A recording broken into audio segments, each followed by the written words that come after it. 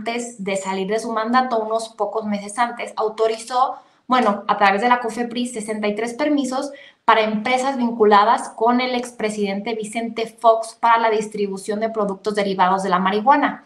Si bien sabemos que Vicente Fox históricamente se ha posicionado a favor de la legalización de la marihuana y de la, eh, del consumo de la misma a través de, productos eh, lúdicos o de salud.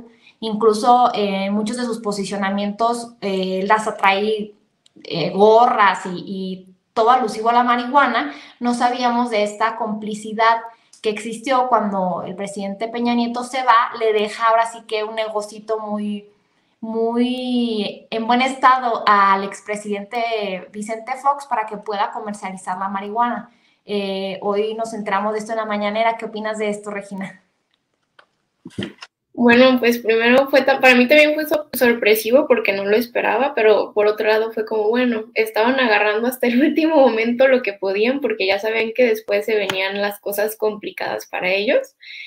Y Fox, la verdad es que desde que siempre ha estado como oposición, pero desde el 2018 que le quitaron la pensión ha estado cada día, cada día más activo, más en contra, eh, manifestándose de las maneras que puede es hasta triste ya ver una persona que tuvo tal relevancia para nuestro país que se haya convertido en lo que se convirtió él.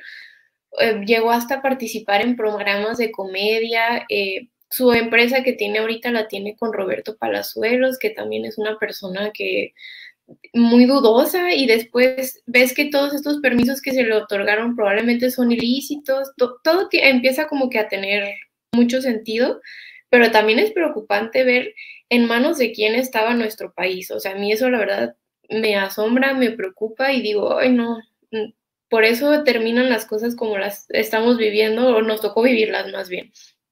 Y bueno, también creo que eh, me parece un poco contradictorio que tengan como una asociación de prevención a las adicciones con su esposa Marta Sagún, mientras son estas personas que todo el tiempo están hablando sobre el consumo de la marihuana y de otras sustancias y cómo hay que ya integrarlo.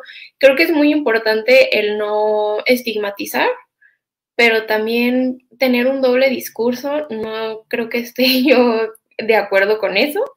Y también da mucho a qué pensar, ¿no? Que es algo que ya también se había visto eh, que se habían descubierto varias asociaciones que realmente al final solamente eran de desvío de recursos y creo que esto también va a salir al final de cuentas, ¿no? Pero pues sí da mucho que pensar y, y a ver qué pasa con todo eso.